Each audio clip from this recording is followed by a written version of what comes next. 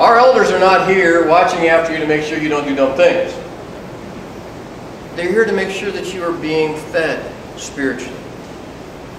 And then when you need advice, you can get good spiritual advice. And when you need a hug, you can get a good hug. Okay? Jesus said, I am the good shepherd. You know what that means? There are some bad shepherds.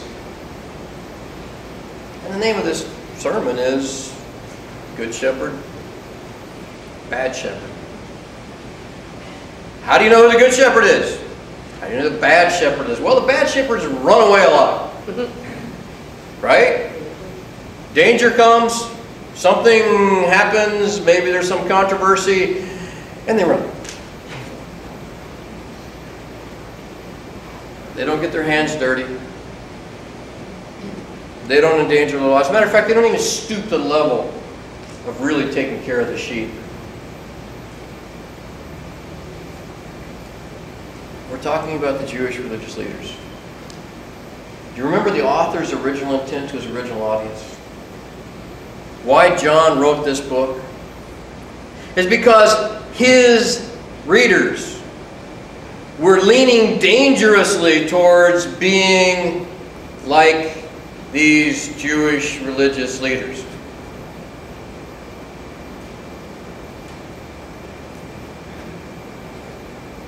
And John wanted them to know what Jesus thought about that.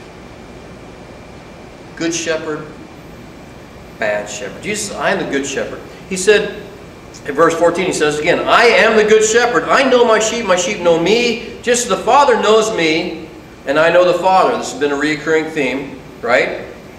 And I lay down my life for the sheep.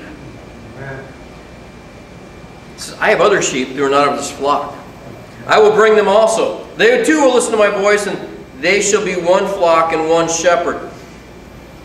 We're, we're talking about Gentiles here, okay? John's original audience in Asia Minor, the Christians were Jewish and they were Gentiles. And he said, I'm going to make one flock out of them. But they're going to recognize my voice.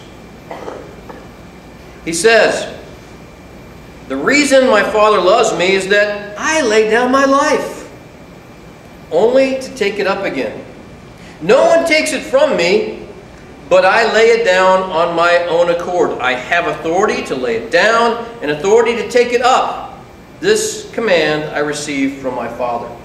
Very, very, very important. Jesus makes that sacrifice that we celebrate every Sunday. Right? He said, this is the reason I'm a good shepherd, because I care enough to die for your spiritual needs. It's not an accident, though. He said, I deliberately am going to lay down my life. No one's going to sneak up and take it from me. This thing isn't going to happen by accident and say, oh, isn't that a pity? If only Jesus could have avoided that. He said, no, I am going to do this because I care about your spiritual needs. Not just yours, but the, spiritual needs of the whole flock. One flock. One flock. Let's see how much sense this made to the Pharisees who were following him. At these words, the Jews were again divided. Many of them said, He's demon possessed and raving mad. Why listen to him? Following this guy around? Why are we listening to him? I don't like what he's saying. I don't like what he, way he talks about. I, he, the guy, he's he's nuts. Must have a demon. Why are we wasting our time? On the other side of the coin, others said, these are not the sayings of a man possessed by a demon. How can a demon open the eyes of the blind? They were divided about Jesus. None of them liked the message. None of them. Because he's going to destroy their whole religious system. He's going to take away all of that prestige they've accumulated. He's going to take care of all of that power that they have gathered for themselves. He's going to take all of that away and destroy it. And we desperately needed him to do that. And we desperately need to avoid rebuilding the same kind of system. Our shepherds are going to be like chapter 21 of this book. When Jesus talks to Peter, he says, Peter, do you love me? We'll get to there. Okay? that won't be next week. But he says, Peter, take care of my lambs. And then when Peter writes, in 1 Peter chapter 5, he writes to the shepherds. He said, take care of the sheep like the main shepherd, like the, the head shepherd, like, like Jesus did. Make sure that you're pointing them to Jesus. Don't rebuild some religious system where they have to achieve something, they have to gain something, they have to follow somebody, somebody not named Jesus. You know how we take care of each other spiritually? We point each other to Jesus. And that's about Jesus. It's about, why do I do it anyway? Because Jesus. Right? What are our hope? What's my hope in the future? Well, because Jesus. Right?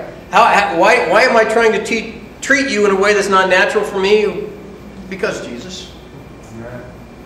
Because of Jesus. Why do we come together to sing? Well, because, because of Jesus. Right? Why do we say the Lord's Prayer? Well, because of Jesus. Why do we have a work day next Saturday? Because of Jesus. I mean, this is because it, it's about Jesus. It's about Jesus. Why do we take the Lord's Supper every Sunday? To remind us it's all about Jesus. The forgiveness that we need the grace that He gives. Why do we sing this hymn, Prepare Our Minds for the Lord's Supper, which is number 408? Because of Jesus. Why do we pass out the trays? Why do we take that little piece of bread? Why do we take a little bit of juice? Because, because of Jesus, the Good Shepherd, who lays down his life for the sheep. Let's, um, let's sing number 408 together as we prepare for Lord's Supper.